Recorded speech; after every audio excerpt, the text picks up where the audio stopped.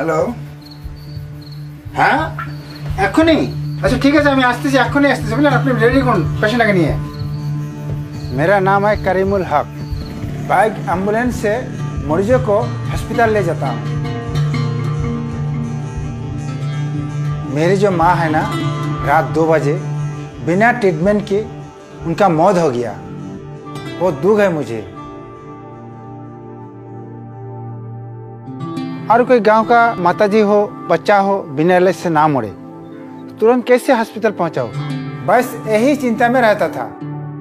तब एक दिन चाय बागान में एक आदमी काम करते करते गिर गया। मैंने तुरंत मोटरसाइकिल निकाल आया। वो दिन से मेरे दिमाग खुल गया ये छोटे से एक मोटरसाइकिल एंबुलेंस का काम कर सकता है।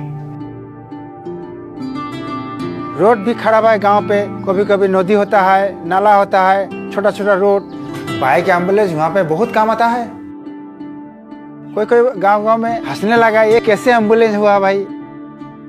फिर जो मरीजों को मोटरसाइकिल में बैठा के ले जाता हूँ लोगों ने बोलता है बहुत अच्छा काम है ये। अभी कोरिमुल सबको इंस्पिरेशन हो गया क्रांति का। कोई किसी का प्रॉब्लम है कोई ऑपरेशन का ज़रूरत है कोरिमुल को बोलने से प्रॉब्लम सॉल्व हो जाएगा। चौबीस घंटा मोबाइल ऑन रहते हैं। बहुत सारे पेशेंट ले गया हम अस्पताल पे।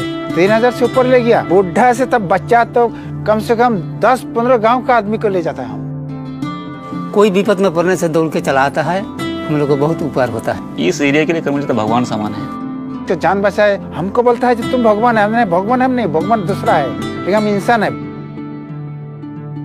जब दो चार पेशेंट एक साथ आ जाते हैं सबको तो हम नहीं ले जा सकता है ना? तब बहुत दुख होता है।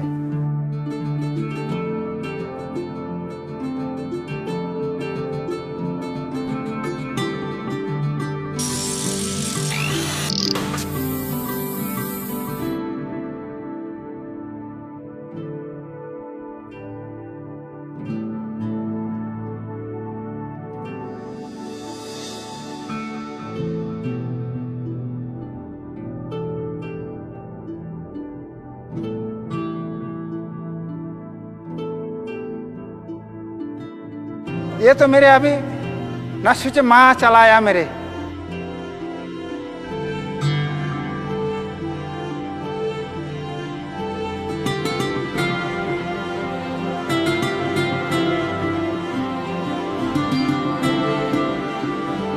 बहुत गरीबों का जान बचेगी बहुत इंसानों का जान बचेगी